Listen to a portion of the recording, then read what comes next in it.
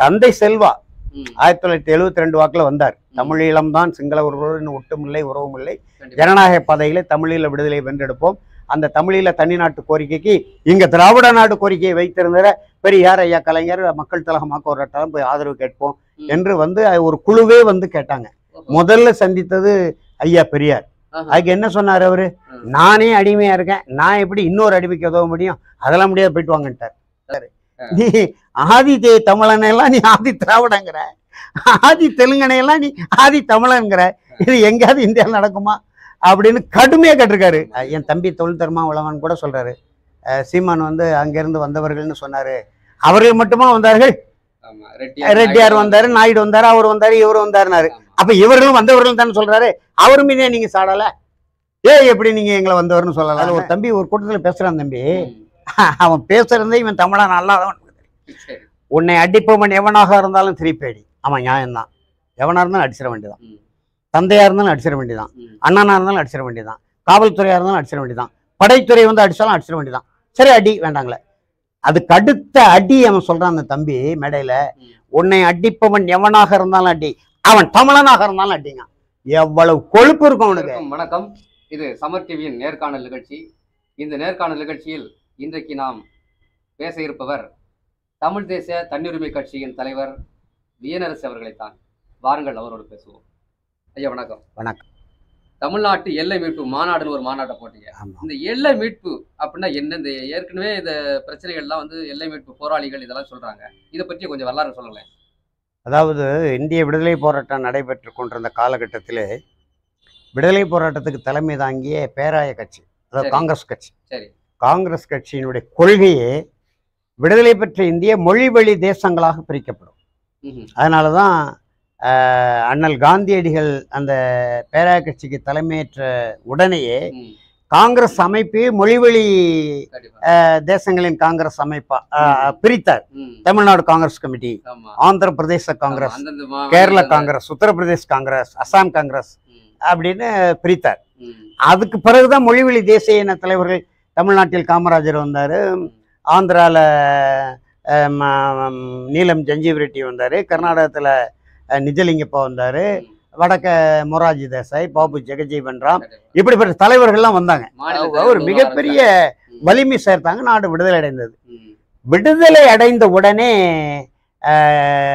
விடுதலை பெற்ற இந்தியாவினுடைய முதல் தலைமை அமைச்சர் ஜவஹர்லால் நேரு அவர்கள் தன்னுடைய கொள்கையை தலைகளை மாற்றி போட்டு வலிமை மிக்க இந்தியா என்ற ஒரு கட்டமைப்பை உருவாக்கணும். அதில் அண்ணல் அம்பேத்கரும் அதில் உடன்பாடு. அவருக்கு மொழிவழி தேசிய இனங்கள்லாம் அண்ணல் அம்பேத்கருக்கு. உடன்பாடு கிடையாது. அவர் வலிமையான இந்தியாவில் தான் ஆஹ், உறுதியா இருந்தாரு. மொழி வழியாக தேசம் பிரிக்கப்படக்கூடாது என்கின்ற நிலைப்பாடு உடையவர். அப்படி இருக்கும்போது தான் நேருவனுடைய முடிவை எதிர்த்து தான் காங்கிரஸ் கட்சியின் முதுபெரும் தலைவர் சென்னை மாகாண தல வலிமை மிக்க தலைவர் அந்த பொட்டி ஸ்ரீராமுலு அவர்கள் பட்டினி போராட்டம் நடத்தி ஆந்திர பிரதேசம் தெலுங்கர்களுக்கு அமைக்கப்பட வேண்டும். அதாவது விடுதலை போராட்ட காலகட்டத்தில். இந்த போரா இந்த தலைவர்களை எல்லாம் பிடிச்சி வெள்ளைக்காரன் உள்ள போட்டான். உள்ள போடும் இது ஐயா சிலம்பு செல்வம் மாப்போசி சொன்ன செய்தி இது. பதிவு பல பல்வேறு எழுத்துல பதிவு செய்திருக்கிறார். அவங்க வந்து இப்போ ஒரே சிறையில் தெலுங்கர்கள் கன்னடர்கள் மலையாளிகள் தமிழர்கள்லாம் இருப்பாங்க. ம், தெலுங்கர்கள் எல்லாம் கூடி கூடி மரத்தடியில் உட்கார்ந்து பேசுவாங்கலாம். விசால ஆந்திரம் எப்படி அமைப்பது? அப்படின்னு. மலையாளிகள்லாம் கூடி. கன்னியாகுமரி முதல் காசர்கோடு வரை ஐக்கிய கேரளம் எப்படி அமைப்பது அதனால கன்னடர்கள்லாம் கூடி சம்யுக்த கன்னடா நம்ம அமைக்கணும் இப்படி பேசுவாங்களாம். ஆனா தமிழ்நாட்டு தலைவர்கள் தான் தமிழகத்தை பற்றி யாரும் பேசக்கூடிய. யாரும் இல்ல. மாப்போசி மட்டும் அகண்ட தமிழ்நாடு அமைப்போம்னு அவர் அவரா பேசிக்கிட்டு பேசினா எப்ப அவரு பல பேர்கிட்ட இந்த தமிழ்நாட்டு தலைவர்கிட்ட பேசினா. யாருமே அதை கண்டுக்கிறது இல்லை கவலைப்படுவதில்லை அதை பத்தி பேசுவ முன் வருவதில்லை இந்த கவலையை அவர் பதிவு செய்திருக்கிறார். ஆனாலும் அவர் பொட்டி ஸ்ரீராமுலு பட்டினி போராட்டம் இருந்து உயிர் திறந்தவன் பற்றி எரிந்தது ஆந்திரா. ஆந்திராவுல. பற்றி பெரும் கலவரம். அதை பார்த்து நேரு மிரண்டு விட்டார் மிரண்டு தான் கீழே இறங்கி ஐம்பத்தி ரெண்டு ஐம்பத்தி மூணு காலத்தில் காலகட்டத்தில் ம், மொழிவழி தேசியங்கள் அமைப்போம் அப்படின்னு சொன்னார். இல்லைன்னா அவர் வந்து ஐந்து ப பகுதிகளை பிரிக்கணும்னு திட்டமிட்டார். வடக்கு பிரதேசம் மேற்கு பிரதேசம் கிழக்கு பிரதேசம் மத்திய பிரதேசம். ஐந்து பிரிவுகளா? மத்திய பிரதேசம் தட்சண பிரதேசம். இப்ப இவங்க திராவிட நாடு கேட்டாங்கல்ல பெரியாரு அண்ணா அவங்கெல்லாம் ஆ. அதை அவரு தட்சண பிரதேசம். பேரு தான் வேற. அது இவர்களும் இருக்கல. திராவிட நாடு ஆந்திரா கர்நாடகா கேரளா மலை ஒரிசா வரைக்கும் திராவிட நாடு கேட்டவர்கள்.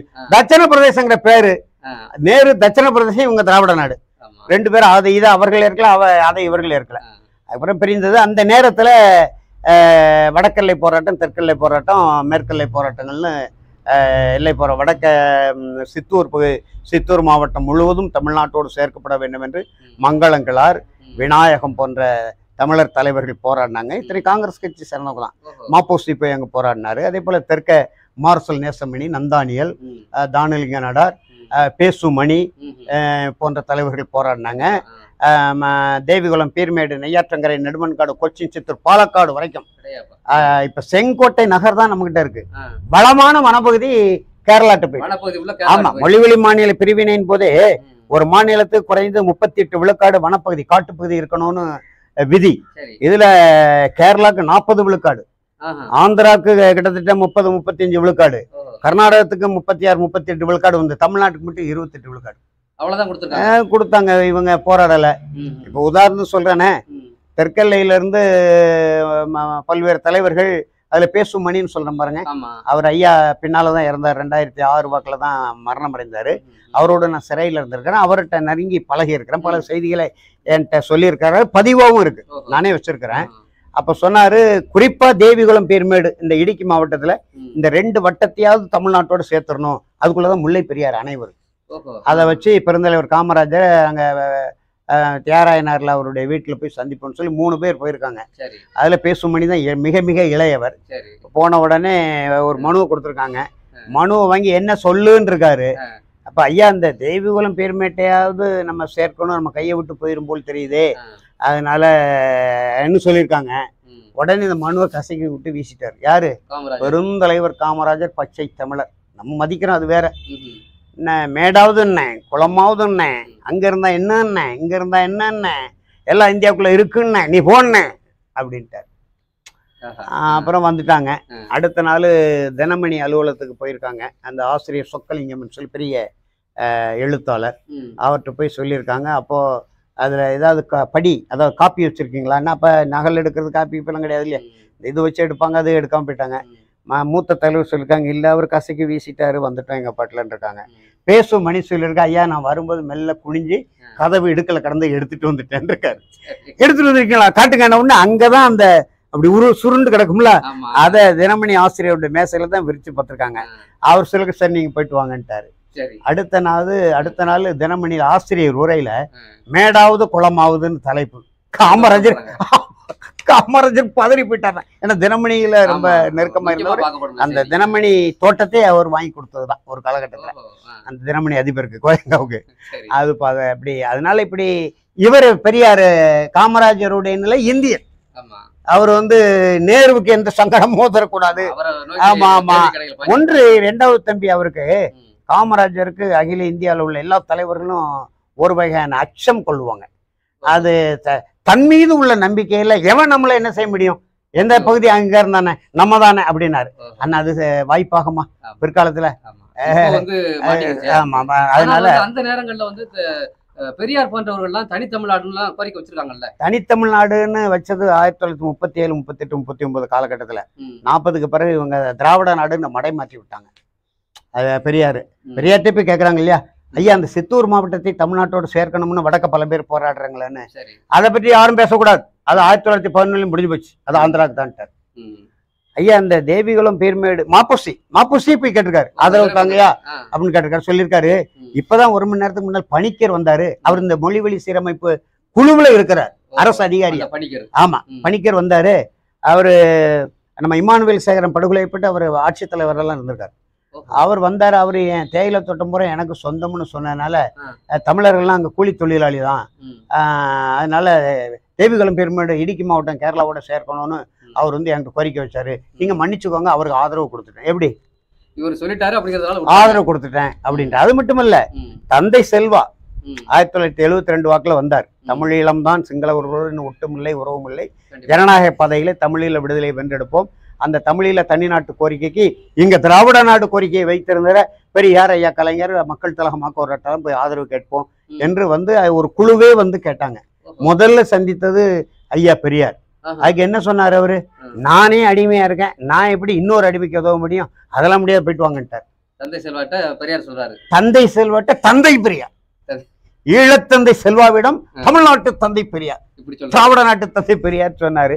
போயிட்டார். இப்படிதான் நடந்தது. ஆக இந்திய அது ஆயிரத்தி தொள்ளாயிரத்தி எழுபத்தி ஐந்து ஐயா கலைஞர். ஐயா கலைஞர் இருக்கும்போது முதலமைச்சரா இருக்கும்போது. இந்திரா காந்தி அம்மா இவரை கேட்காமலே அது என் பாட்டனுக்கு சொந்தமான நிலம். சேதுபதி மன்னருக்கு பட்டா நிலம். இவர் முதலமைச்சரை கேட்காமலே இந்திரா காந்தி அம்மா. என்னுடைய இன பகைவன் என்னுடைய ஜென்ம பகைவன் சொல்லக்கூடிய சிங்கள இனவரியன்ட்டு தூக்கி கொடுத்துட்டாங்க இன்னை வரைக்கும் எனக்கு சிக்கல் என் மீனவனுக்கு ஆனா வந்து தொடர்ச்சியா திமுகவுடைய தேர்தல் அறிக்கையில கச்சத்தீவை மீட்போம் மீட்போம்னு சொல்லிட்டே இருக்காங்க இல்லையா அது நம்ம அம்மையார் ஜெயலலிதாவாவது உச்ச நீதிமன்றத்தில் ஒரு வழக்காடுனாங்க இதே செய்தி ஒன்று நான் பதிவு பண்றேன். நல்ல செய்தி. இளைய பிள்ளைகளுக்கு தெரியும். ஆயிரத்தி தொள்ளாயிரத்தி ஐ ஐம்பதுகளில் விடுதலை பெற்ற இந்தியாவில் வங்கதேசம் தெரியும் இல்லையா. பின்னால் எழுபத்தி ரெண்டுல உருவானது. இந்தியாவினுடைய முயற்சினால அது வங்கதேசம் வந்து கிழக்கு பாகிஸ்தான் சொல்லுவாங்க. பாகிஸ்தானோட சேர்ந்தது தரைவழி தொடர்பு கிடையாது.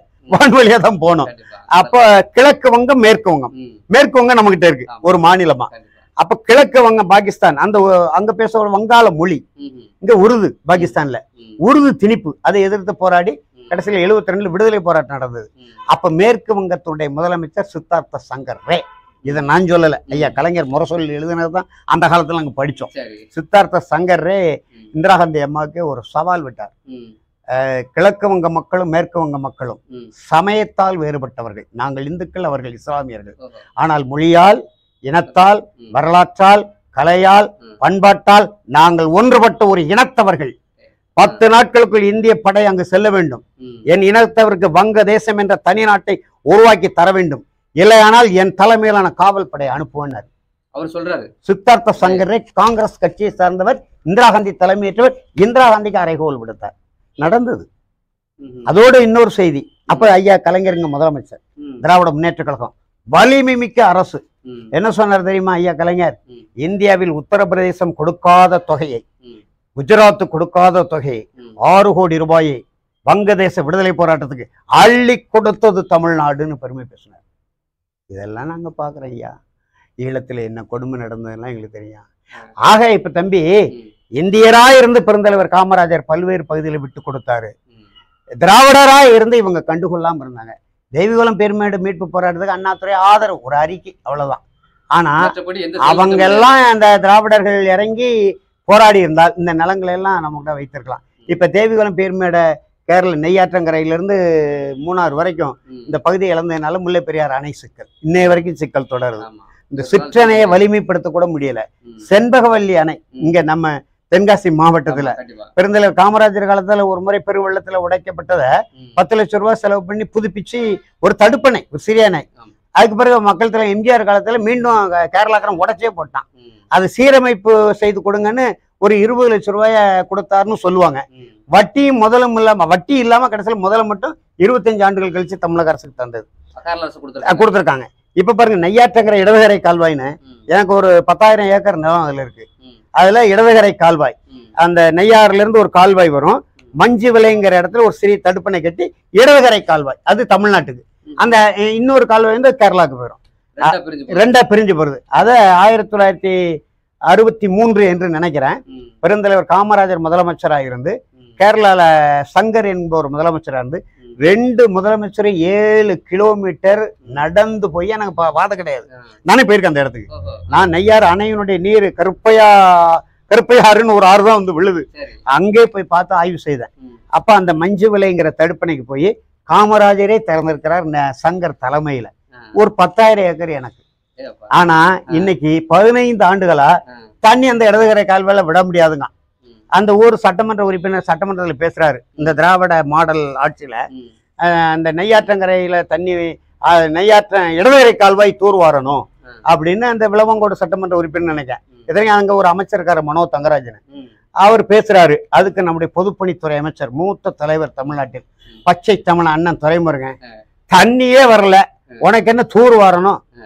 தண்ணி வராது யார் குற்றம் தண்ணியை பெற்றுத்தர வேண்டிய உரிமை என்ன சாதனை நீங்க ரெண்டாண்டுல வேதனையான ஆட்சியை நடத்தி கொண்டு தமிழ்நாட்டு மக்களுக்கு நீங்க சாதனைன்னு சொல்றீங்க. ஒரு இடதுகரை கால்வ பத்தாயிரம் ஏக்கருக்கு தண்ணியை பெற்று தர முடியாத திராவிட மாடல் ஆட்சி. இப்படி இவங்க அதே போல குடகு பகுதி. குடகு பகுதியை தமிழ்நாட்டோடு சேர்க்கிறதா? மைசூர் மாநிலத்தோட. இப்ப கர்நாடகா அன்றைக்கு கிடையாது. அன்னைக்கு ஆயிரத்தி. தொள்ளாயிரத்தி அறுபத்தி எட்டு வரைக்கும் மைசூர் மாநிலம் தான்.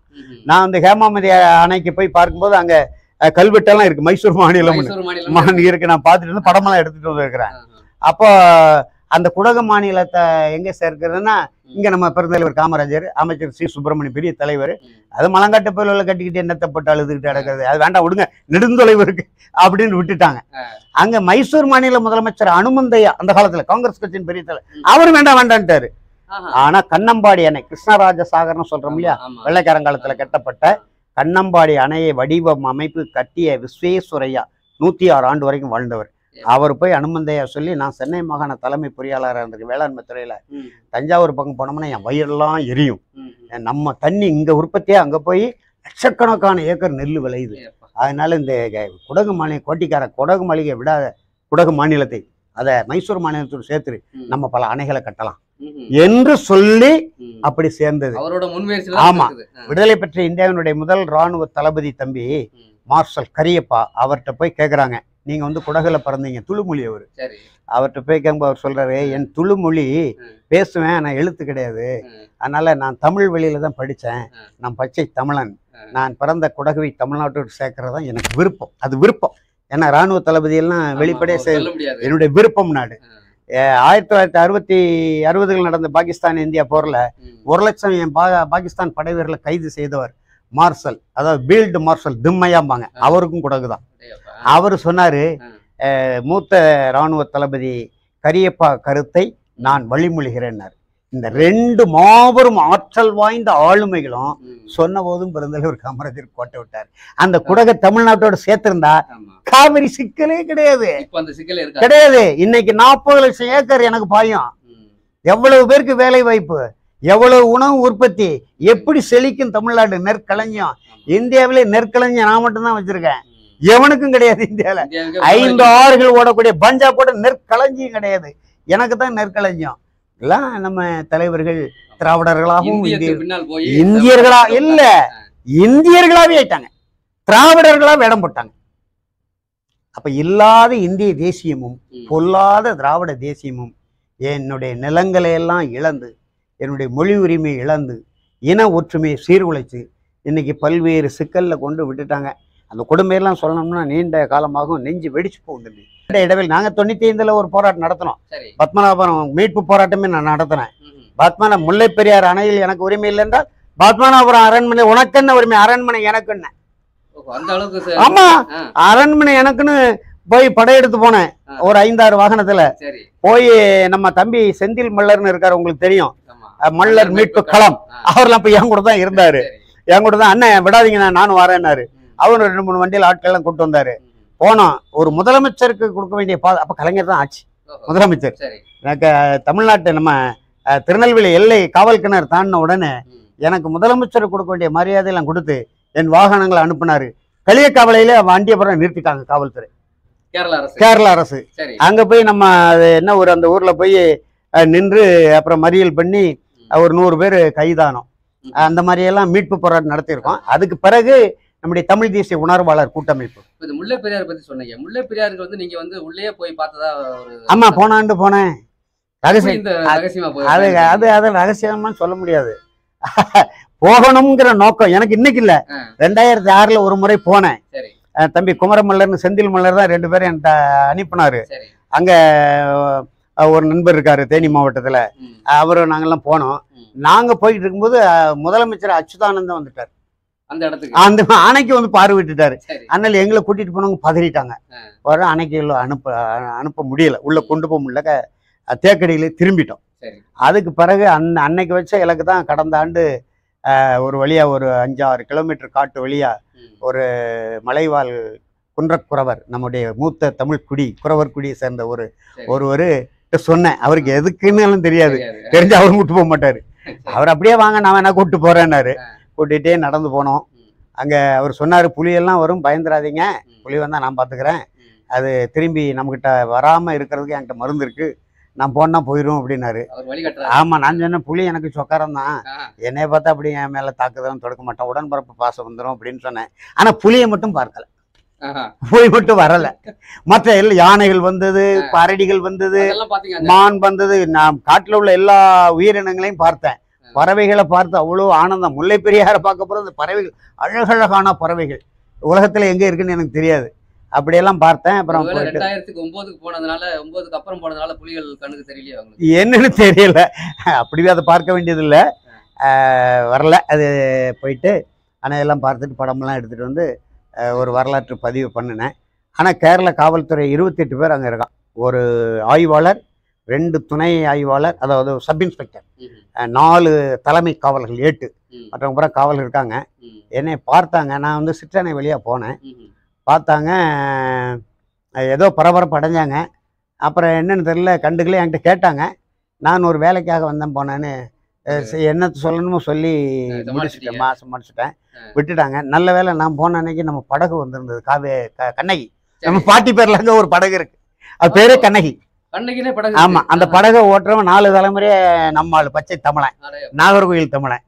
அவன் தான் படகு ஓட்டின்னு தெரிஞ்சுக்கிட்டு மெல்ல அவனை அணுகினேன் உங்களை கொன்னே விடுவானே இவனை பார்த்தானுன்னா கேரளாக்கு உங்களை உடனே திருவனந்தபுரத்துக்கு பாட கட்டி அனுப்பிடுவானுமா நீங்கள் எப்படி வந்தீங்கன்னு என்கிட்ட கொஞ்சம் கடிந்து கொண்டார் அவர். இல்லை நான் வந்துட்டேன் இப்போ நீங்கள் தான் என்னை காப்பாற்றணும்னு யாருக்கும் தெரியாம மெல்ல படகுல ஏறி ஒரு ஓரத்தில் உட்காந்துக்காங்க நான் எடுத்துகிட்டு போயிடுறேன்ட்டாரு அப்புறம் ஏறி கண்ணகி பாட்டி மேலே ஏறி உட்காந்தேன் எங்கள் பாட்டி கொண்டு தேக்கடியில் இறக்கிட்டான் பாட்டி காப்பாத்திருக்காங்க. கண்ணகி தான் என்னை காப்பாத்துனா. கண்ணகி கொடுத்துக்கு நான் போயிருக்கேன். அது என் தம்பி சீமானோட போனேன் சீமான். சீமானுடைய துணைவியார் அன்புக்குரிய என்னுடைய மகள் கயல்விழி நம்ம நாம் தமிழர் தம்பிமார்கள்லாம். ரெண்டாயிரத்தி பதினேழுல. இந்த சித்ரா பௌர்ணமிக்கு. அண்ணா தம்பி அண்ணன் நம்ம பாட்டியை பார்த்துட்டு வரோம் வாங்கன்னாரு. அப்போ போனா அங்கேயும் போயிட்டு எல்லை பாதுகாப்புல வந்து கேரளாக்காரர்கள் அவ்வளவு கெடுபிடியா இருக்காங்களா? இன்னைக்கும் இருக்கிறாங்க. ரீசர்வேன்னு இன்னைக்கு பண்றாங்க. இப்ப தம்பி உனக்கும் உங்களுக்கும் எனக்கும் வீட்டுக்கு இடையில முடுக்கு சண்டை மனச்சண்டை இருந்தா. நம்ம வட்டாட்சியர்கிட்ட முறையிடுவோம். வட்டாட்சியர் ஒரு தொகை கட்டணும்.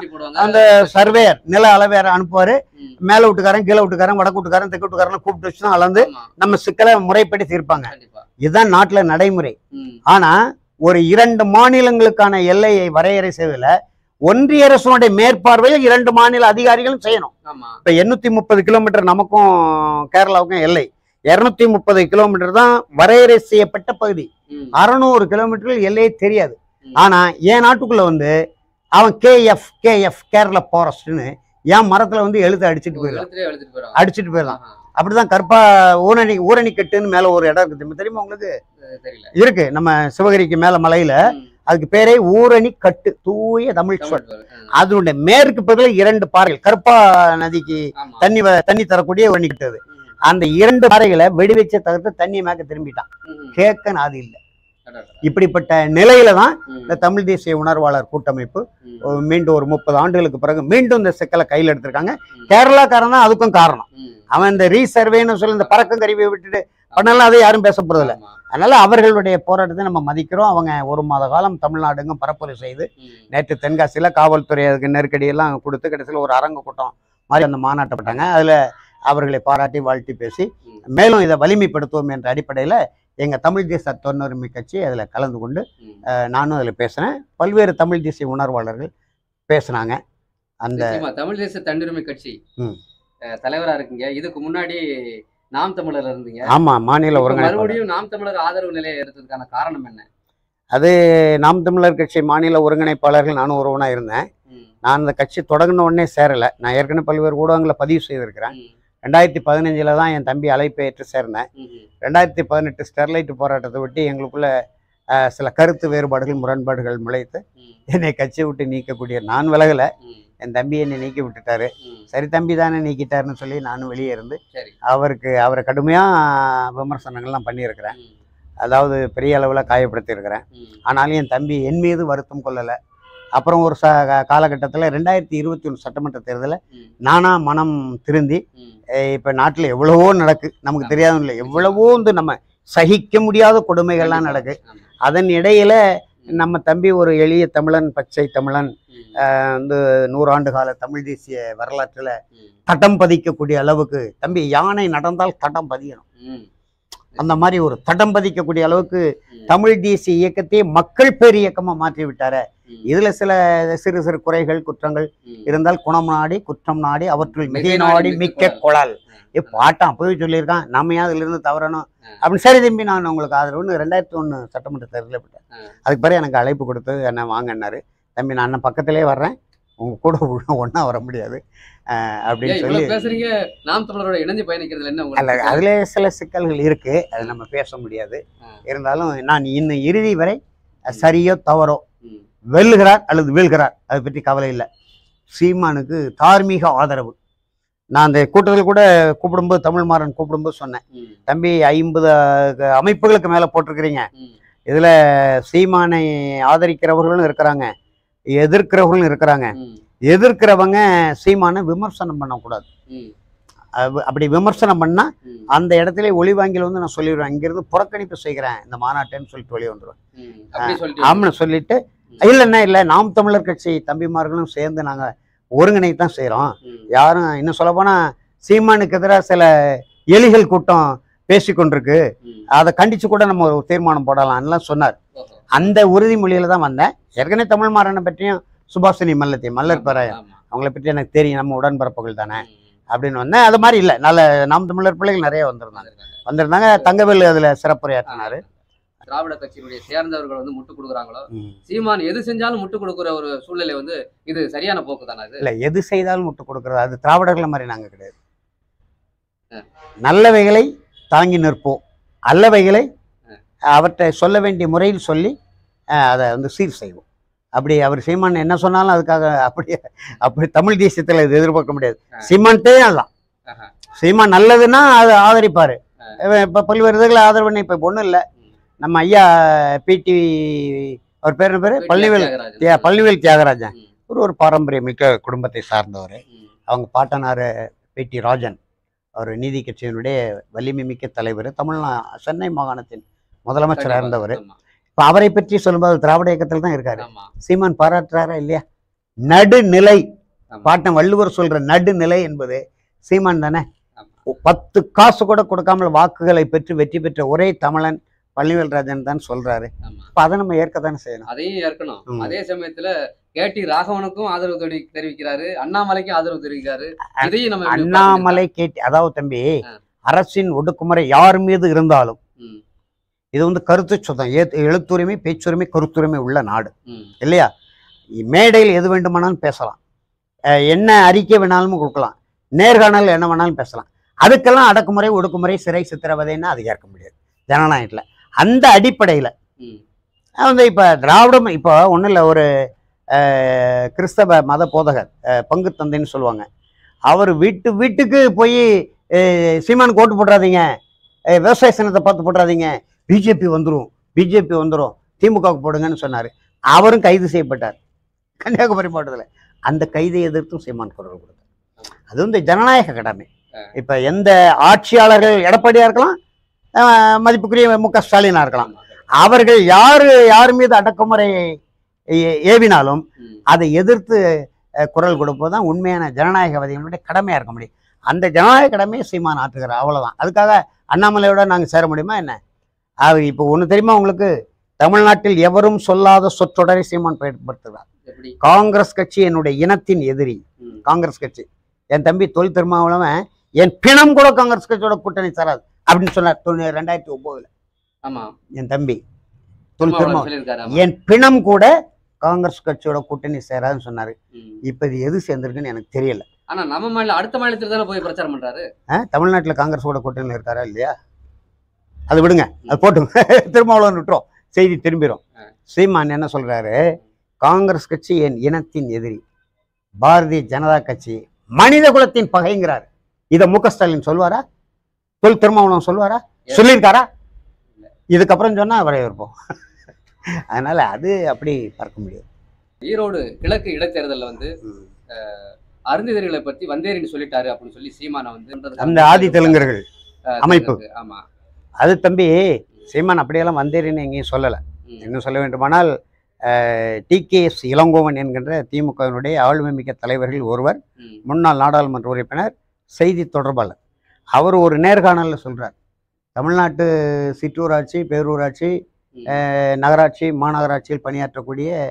தூய்மை பணியாளர்கள் தொண்ணூறு விழுக்காடு தெலுங்கர்கள்ங்கிறார். அவரே பதிவு செய்யறாரு காணொலியே இருக்கு. ஏன் அவரை இவங்க கண்டனம் தெரிவிக்கல? ஒன்று. அடுத்து நம்ம பேரறிஞர் த- தோப்பாவாவது மறைந்து விட்டார். அவரும் அதை வரலாற்று அடிப்பில். அஹ் என் தம்பி தொழில் தர்மா உலகன் கூட சொல்றாரு. அஹ் சீமான் வந்து அங்கிருந்து வந்தவர்கள்னு சொன்னாரு. அவர்கள் மட்டுமா வந்தார்கள்? ரெட்டியார் வந்தாரு. நாயுடு வந்தாரு அவர் வந்தாரு இவர் வந்தாருனாரு. அப்ப இவர்களும் வந்தவர்கள் தானே சொல்றாரு? அவர் மீதே நீங்க சாடல? ஏ எப்படி நீங்க எங்களை வந்தவர்னு சொல்லலாம்னு அதாவது தம்பி எலிகள் புலிகள் விடமிட்டு ஆடுது இந்த நாட்டுல. திராவிடர்கள் கையில ஆட்சி இருக்கு. உண்மையான தமிழனா இருந்தா தமிழ் தேசியமா இருந்தா சீமானை போய் நேர்ல சாத்து அண்ணன் நான் தமிழன் என்ன அண்ணன் நீங்க இப்படி பேசுனீங்க? என்று அன்பா வந்து அவர் யார் வேணாலும் சந்திக்கலாம் தானே? போய் சந்திச்சு ஒரு நேர்காணலே எடுங்களேன். அதை மறுக்கிறது போல ஒரு நேர்காணலே எடுத்து உங்க காணொலி. இப்ப எத்தனையோ காணொலி போடுறீங்களா? அநாகரிகமா அருவருப்பா பேசி எல்லாம் போடுறீங்களே? அவற்றை நீங்களே ஒரு நேர்காணல் எடுத்து போட்டிருக்கலாமே. அவர் அதுக்கு விளக்கம் கொடுத்துட்டு போறாரு. அதை விட்டுட்டு நீங்க திராவிடம் பக்கம் இருந்தா அதுல ஒரு தம்பி ஒரு கூட்டத்துல பேசுறான் தம்பி. அவன் பேசுறதே இவன் தமிழன் அல்லாதவன் சரி. உன்னை அடிப்பவன் எவனாக இருந்தாலும் திருப்பேடி அவன் நியாயம்தான். எவனா இருந்தாலும் அடிச்சிட வேண்டியதான் ம். தந்தையா இருந்தாலும் அடிச்சிட வேண்டியதான் ம். அண்ணனா இருந்தாலும் அடிச்சிட வேண்டியதான் காவல்துறையா இருந்தாலும் அடிச்சிட வேண்டியதான் படைத்துறை வந்து அடிச்சாலும் அடிச்சிட வேண்டியதான் சரி அடி வேண்டாங்களே. அதுக்கு அடுத்த அடி அவன் சொல்றான் அந்த தம்பி மேடையில. உன்னை அடிப்பவன் எவனாக இருந்தாலும் அடி. அவன் தமிழனாக இருந்தாலும் அடிங்க. எவ்வளவு கொழுப்பு இருக்கும் அவனுக்கு. தமிழனாக இருந்தாலும் அடிங்கிறான். அப்ப இவன் தமிழன் அல்லாதவன் தானே? நிச்சயமா. இதுல இருந்து நமக்கு ஒரு சுருக்கமா சொல்றேன். நீ தமிழன் அல்லாதவனா இருக்கிற அந்த உள் உணர்வு தான் உன் உன் நாக்கு வழியாக இந்த செய்தி வருது அடிக்கிறவன் எவனா இருந்தாலும் அடி நம்ம ஏற்கிறோம் தம்பி திருமாவளவன் கூட சொன்னாரு. அத்து மீறு அடங்க மறு திருப்பி அடி திமிரி எழுனாரு சரிதாமுன்னா ஆமா. அது அது ஒரு சமூகத்தினுடைய ஒடுக்குமுறைகளுக்கு எதிரான ஒரு. புரட்சி முழக்கமா அன்னைக்கு பார்க்கப்பட்டது. ஆனா எங்கேயும் என் தம்பி திருப்பி அடிச்சாரான்னு தெரியல எங்கேயாவது அடிச்சிருக்காரா மேல உழவு கீழே உழவுல ஏழு பேர் படுகொலை நடந்தது குறிஞ்சாங்குளத்துல பண்ண எங்கேயாவது அடிச்சிருக்காரா ஆனா வெண்மணில அமல்ராஜ் என்கின்ற தமிழன் அடிச்சானா இல்லையா. வரலாறா இல்லையா. வரலாறா இல்லையா அது? நீ எங்க அடிச்சிருக்க? என் தம்பி திரும்ப என் எனக்கு தம்பி தான். கேக்குறேன் என் தம்பி திரும்ப நீங்க எங்க அடிச்சிருக்கீங்க திருப்பி? சொல்லுங்க தம்பி ஒரு ஆளை சொல்லுங்க. போறாருல நேர்ல போறாருல வேங்க வயலுக்கு சீமானம் தான் பண்ணாரு வேங்கவேலுக்கு. மாதம் எத்தனை ஆச்சு? ஒரு குற்றவாளி மக்கள் சொல்றாங்க என்னதான் குற்றவாளின்னு உங்களுக்கு அடையாளம் படுத்துறாங்கல்ல பிடிச்சு நாலு சாத்து சாத்து உள்ள போட்டா தெரிஞ்சிட்டு போகுது. அருவருப்பான செயல்கள் தான் நடக்கும். மலத்தை ஆய்வுச்சுக்கிறது. யாருடைய மலம் என்று. இதுல கொடுத்து. ஆய்வு ஒரு பெண்கள்னு ஆய்வு. செஞ்சிருக்காங்க. சரி அந்த ரெண்டானையும் ஒரு பண்ணி பிடிச்சிட வேண்டியது? எவனா இருந்தாலும் பிடிச்சு உள்ள போடு. அதுக்கு டிஎன்ஏ டெஸ்ட் எடுக்கணும்ல. திசை திருப்புற வேலை தம்பி அது மூன்று குடி தமிழ் குடிகள் இருக்கு. அதுல சாதி ஆதிக்கம். ஆதிக்க சாதின்னு சொல்ல முடியாது. சாதி ஆதிக்கம் உள்ளவன் அவனுக்குள்ள பதவி சண்டையில போட்டு விட்டுட்டான். இப்ப சீமான் தான் அதுக்கு தெளிவா சொல்றாரு. என் தம்பி தொல் திருமாவளவன் புது தொட்டி கட்டி கொடுங்கங்கிறாரு. அதே இன்னொரு தம்பி தொல் திருமா நம்ம தம்பி செந்தமலர் சீமான் பொது தொட்டி கட்டி ரெண்டுலயே பாருங்க. புது தொட்டி கட்டி கொடுங்கங்கிறாரு. அவங்களுக்கு மட்டும்.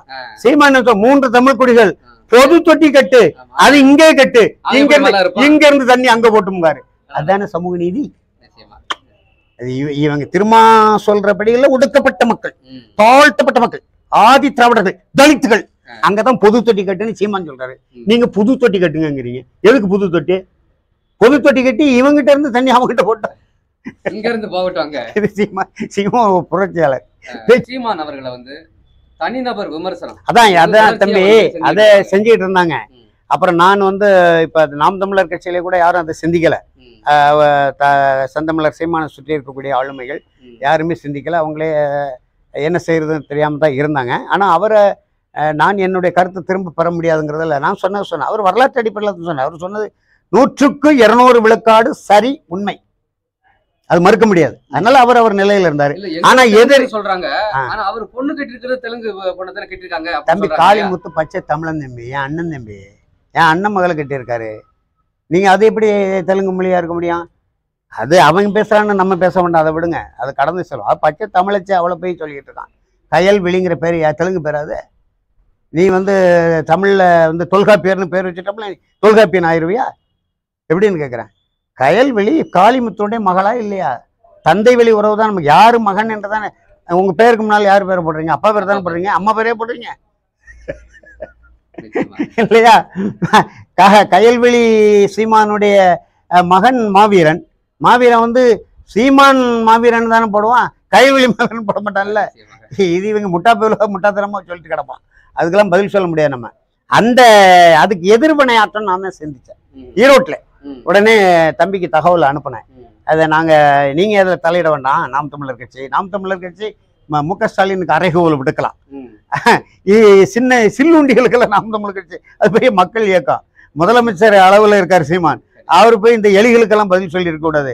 அதை நாங்கள் பார்த்துக்குறோம் அப்படின்னு சொன்னா அப்போ சரி அண்ணன் செய்யட்டுனாரு அங்கே தேர்தல் ஆணையர்கிட்ட நாங்கள் விண்ணப்பம் கொடுத்தோம்.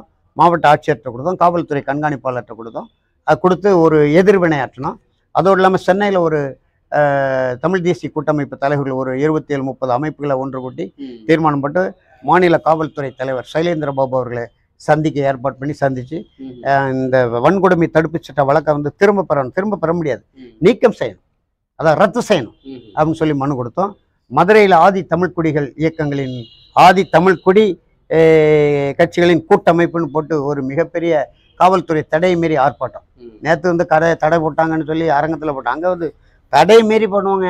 சரி. நீங்கள் வந்து கைது பண்ணா கைது பண்ணுங்கன்னு பக்கத்திலே தான் அவங்க ஆர்ப்பாட்டம்லாம் ஒன்று நடந்தது. சுவரிட்டு அடித்து மதுரை மாநகர்புறம் ஒட்டி விட்டுட்டேன். வாய் அடைத்து போனார்கள் அதுக்கு பிறகு இன்னை வரைக்கும் பேசல.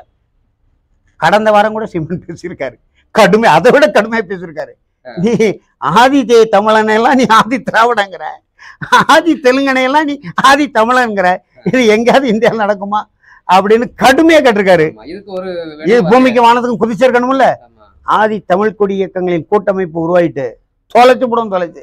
அப்படின்னு அங்க மாதிரியில் போட்ட போடுல கப்பு சிப்புன்னு ஆயிட்டான் ஆனா இந்த சூழ்நிலையில கூட இந்த காமாட்சி நாயுடு போன்றவர்கள் வந்து தமிழருக்கும் தமிழ் நாட்டுக்கும் எதிரா வந்து சில கருத்துக்கள்லாம் சொல்லிக்கிட்டு இருக்காங்க. அது காமாட்சி அந்த காலத்துல உங்களுக்கெல்லாம் தெரியாது தம்பி. இவன் அப்பனே ஒருத்தன் வந்தான் கங்குசாமி நாயுடுன்னு தொண்ணூறுகள்ல.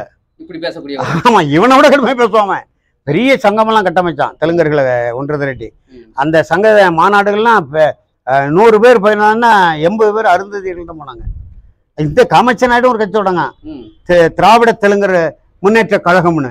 அந்த அரங்கத்தை நிறைத்தவர்கள் பூரா நம்ம அரு- அருந்ததியர் மக்கள் தான். சமூக விடுதலைன்னு வந்தா தம்பி முதல் சமூக விடுதலை அருந்ததியர் மக்களுக்கு தான். அதில் நமக்கு மாறுபட்ட கருத்துல. நானே அவங்களுக்காக போராடி இருக்கிறேன். அவங்களுக்கு வழிகாட்டு நம்ம திருநெல்வேலியிலலாம் மிகப்பெரிய போராட்டங்கள் முன்னெடுத்துக்கிறோம் இயந்திர இயந்திரத்தை பயன்படுத்தி வாக்களிக்கிறோம் நம்ம. இயந்திரத்தை கண்டுபிடிச்சவன் நாட்டில் கையால வாக்களிக்கிறோம். மனித மலத்தை இயந்திரம். சீமான் ஒருவர் தான் பேசுறாரு. மனித மலத்தை இயந்திரம் தான் நல்ல வேண்டும். வாக்களிப்பது கையால் வாக்களிப்போம். மக்களுடைய படி நகராளிகளை தேர்ந்தெடுப்பது கையால் தேர்ந்தெடுப்போம். மலத்தை வந்து இயந்திரம் அல்லட்டோன்னு தொடர்ச்சியா பேசுற ஒரே தலைமை நாம் தமிழர் கட்சி தலைமை ஒருங்கிணைப்பாளர் செந்தமிழர் சீமான் தான். அவர் பக்கம் நிக்கிறதை விட்டுவிட்டு இவனை வந்து திராவிட அதான் அந்த தெலுங்கு பாசம். இல்லையா? இப்ப ஐயா கலைஞருக்கே அது உண்டு. அவர் முதலமைச்சரா வலிமை மிக்க முதலமைச்சரா இருக்கும்போது அந்த காலத்துல நாங்களாம் சிறுவர்கள். வந்து ஒரு கோட்டையை புதுப்பிக்கணும் அப்படின்னா. உண்மையிலே செஞ்சி கோட்டைன்னு ஒரு கோட்டை. நீங்க பாத்திருக்கீங்களா ஆமா செஞ்சுக்கோட்டை ஆமா ஆனந்தக்கோன் மாரிக்கோன் கோனேரிக்கோன்னு நம்ம பாட்டனார்கள் மூன்று பேர் முல்லை நில வேந்தர்கள். குறுநில மன்னர்களா இருந்து நாலு மலைகள் இணைச்சு மிகப்பெரிய கோட்டை காவலரன். ராஜா கோட்டை ராணி கோட்டை. ஆமா. தமிழின பரவல் மருத்துவரையா தான் அந்த வாய்ப்பை எனக்கு தந்தாரு. ஒரு வாகனமே ஏற்பாடு பண்ணி தரேன் குடும்பத்தோடு போய் பாருங்கன்னு என்ன அனுப்பி விட்டாரு. தைலபுரம் தோட்டத்தில் அது ஒரு கதை. அது தனியா இருக்கட்டும். அந்த கோட்டை அல்லவா புதுப்பிச்சு பெருவுடையா தஞ்சை ராஜராஜ சோழன் அருள்மொழிவர்மன் நம்ம பாட்டன் மாவீரன். கட்டின அந்த பெரிய கோயிலுக்கு அடுத்து உலக அதிசயங்கள் ஒன்றுன்னு காட்டியிருக்கணும். அதை விட்டு விட்டு.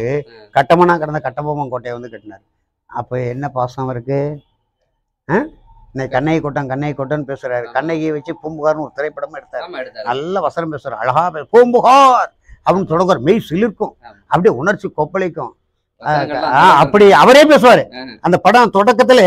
அவர் ஒரு மூன்று நிமிடம் அந்த சிலப்பதிகார இளங்கோடிகள்னா கூட அப்படி பேச முடியாது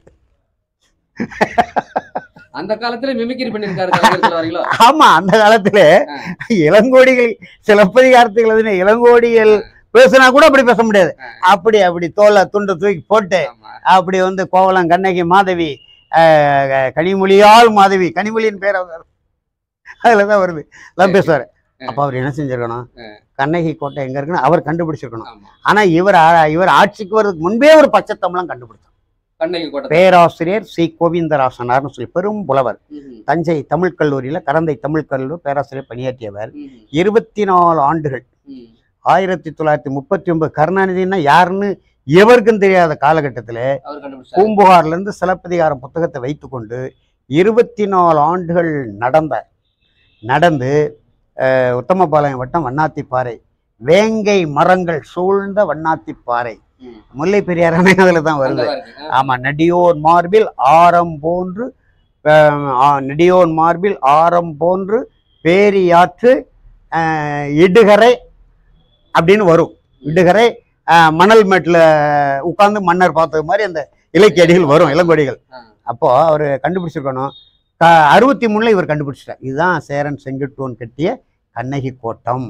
இமயத்திலிருந்து அச்சம் என்பது மடமையடான்னு பாட்டு வருதுல்ல ஆமா. அதுல கண்ணக விஜயன் முடிதலை நெறித்து கல்லினை கொணர்ந்தான் சேர மகன் நம்ம. தலைவர் எம்ஜிஆர் படிப்பார் அந்த கனக விஜயன் தலையில கல்லை கொணர்ந்து அதாவது சுமந்து கொண்டு வரக்கூடிய கல் என்ன அளவுல என்ன இடையில இருக்குமோ அந்த சிலையை கண்டுபிடிச்சார். கண்டுபிடிச்சு ஆய்வு செய்தார் இந்த சிற்பம். சரியா இருக்கு சரியா இருக்கு சிலப்பதிகாரம் வைத்துக் கொண்டு தானே அவர் செய்யறாரு. கோவிந்தராசனாரு அந்த கல்லை இந்தியா புறம் கொண்டு போய் ஆய்வு செய்தார். இமயமலை கல் இமயமலையிலிருந்து பெயர்த்தெடுக்கப்பட்ட கல்லுன்னு உறுதிப்படுத்தி அந்த சிலையை கொண்டு கலைஞர்கிட்ட கொடுத்தாரு. என்ன ஆச்சுன்னு எவனுக்கும் தெரியல. இது வரைக்கும் என்ன ஆமா ஆயிரத்தி தொள்ளாயிரத்தி எழுபத்தி நாலுல நடந்த நிகழ்வு. என்ன செய்திருக்கணும்? கண்ணை கொடுத்த கட்டி எழுப்பி பெரிய அஹ், திறப்பு விழா நடத்தியிருக்கணும் நிச்சயமா. இவர் இல்லாம இப்படி ஒரு கோயில் இருக்கு. இது இதை ஆய்வு செய்யணும். நீங்க அனுமதி தாங்கன்னு கே மா- கேரளா அரசுக்கு கடிதம் எழுதினாரு. அவங்க கண்ணை கூட எனக்குன்ட்டான். ஏற்கனவே சேரப்பட்டேன். காட்டி கொடுத்தாரு கொடுத்துட்டாரு.